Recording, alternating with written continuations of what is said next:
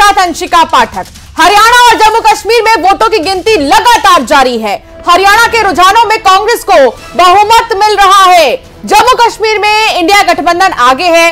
हरियाणा के सभी 90 सीटों के रुझान आ गए हैं। और इन रुझानों में कांग्रेस पार्टी अब अपने दम पर बहुमत हासिल करती नज़र आ रही है। 10 साल के बाद यह सूखा कांग्रेस पार्टी के लिए खत्म होगा। हालाँकि उससे पहले 10 साल कांग्रेस पार्टी ही की सरकार हरियाणा प्रदेश में रही थी।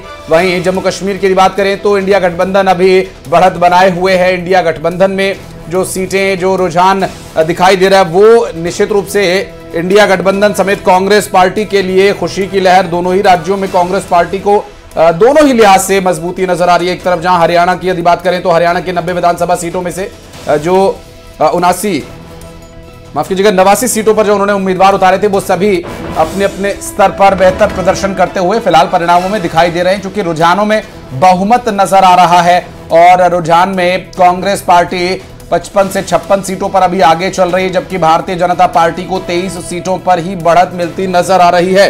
इस वक्त यदि बात करें चूँकि एग्जिट पोल्स में जो बातें बताई गई थी, जो चीज़ें दिखाई गई थी, जिसमें कांग्रेस पार्टी को अच्छी खासी बहुमत हर जगह लगभग सभी दिखाई गई थी दोनों ही राज्यों में, लेकिन अब इस वक्त जो रुझान है, वो असल परिणामों की ओर कब तक बढ़ेंगे, ये भी देखना अहम होगा, चूँकि कुछ एक आंकड़ों को यदि दरकिनार कर दिया जाए तो परिणाम एग्जिट पोल के आसपास ही नज़र आ रहे हैं, क्योंकि ज़्यादातर एग्जिट पोल्स ने हरियाणा में कांग्रेस की सरकार बहुमत के साथ बनती हुई दिखाई थी, और यहाँ भी अभी रुझानों में कांग्रेस पार्टी को बहुमत मिलता नज़र आ रहा है, जबकि जम्मू कश्मीर की यदि बात करें तो ये केंद्र शासित प्रदेश, जहाँ 10 साल के बाद चुनाव हो रहे हैं, देश और दुनिया की नज़रें यहाँ पर टिकी हुई हैं। मतदान के उन तीन चरणों से लेकर आज परिणाम तक, और फिर किसकी बनेगी सरकार?